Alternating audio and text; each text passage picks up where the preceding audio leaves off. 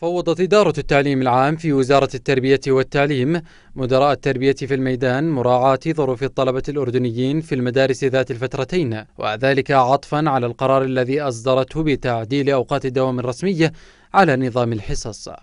وفي استطلاع أجرته الحقيقة الدولية أكد مجموعة من طلبة المدارس أنهم يرفضون نظام الحصص الذي يؤثر على تحصيلهم العلمي خصوصا أن فيه تأخير لهم عن العودة إلى منازلهم. إنه بصير نروحوا عند المغرب. في ناس قدام على الفجر يعني البنات شو يساووا في الباصات؟ مش مش حلو بالمرة. يعني بروح من المدرسة يكون خلص يومي يعني ما لا مش حلو. ضغط على الطلاب هذا البرنامج؟ لا والله ما في لا ضغط ولا شيء. هذا النظام أحسن شيء. عندك الحصة الثامنة بده يختم. ما في غير هيك. أما تقول لي لا روح بدري ومش روح بدري فيش حدا بعيد عن المدرسة. اللي بعيد ما يروح. يعني في التوقيت المسائي راح يكون آه، في توقيت شتوي يعني مش راح نلحق ناخذ حصة ثامنة. فيعني اللي ضرب بعيد عن المدرسة مش راح يلحق يروح قبل المغرب. من ناحية الطلاب لأنه ضغط بصير على الطلاب. يقول أنت ثمان حصص إنه طالب معوش وقت يدرس؟ يعني تل... يعني ثمان حصص يعني بده يروح على الساعة 3 متى ببلش دراسة؟ لسه بده ينام ويرتاح ويتحمم و... يعني في شغلات كثير بده يسويها مش بس حصص مش بس مدرسة. يعني إنه هو اجى بوقت متأخر.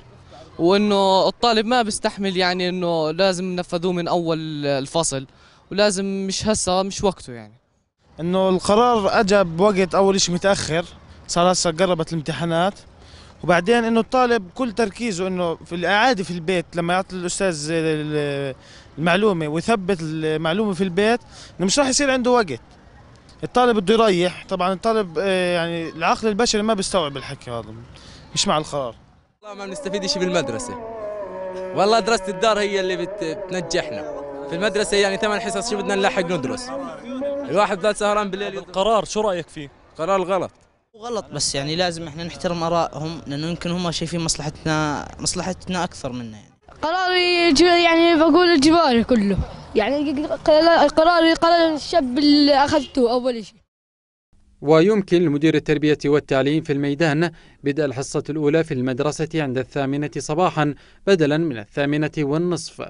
وبما يناسب ظروف الطلبة والمنطقة الجغرافية كما أن الوزارة فوضت أيضا مديري التربية والتعليم في الميدان بتحديد بدء ساعات دوام الفترة المسائية وبما يحافظ على مدة الحصة الدراسية ويراعي ظروف كل مدرسة وطلبتها. محمد الفايز الحقيقة الدولية.